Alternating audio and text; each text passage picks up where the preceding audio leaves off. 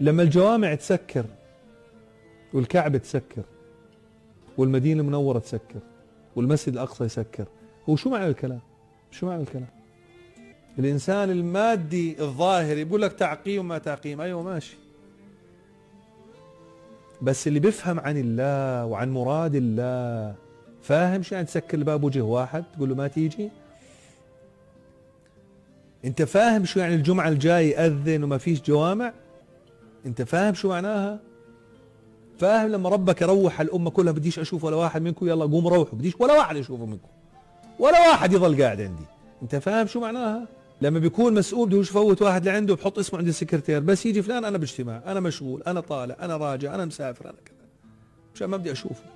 الله عز وجل ما بيحط شرطي على باب الجامع. لا. يضع ما لا تراه العيون. Nike